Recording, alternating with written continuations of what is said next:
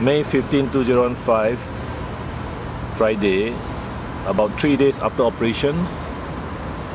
There's a bit of uh, bleeding on the left ear and the right ear. Turn, turn, turn this side. And uh, we are going to wash it. Yeah. Yeah. I'm going to wash. Afterwards, I'm going to wash it.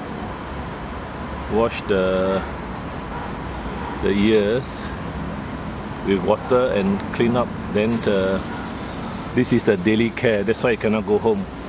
If it goes home, the owner cannot take care of it. Open the mouth and see the mouth. Check the mouth. The color. Check the membrane. The dog is eating. Eating. Uh, eating food. Yeah, should be okay. I take medicine from the Everson. Okay.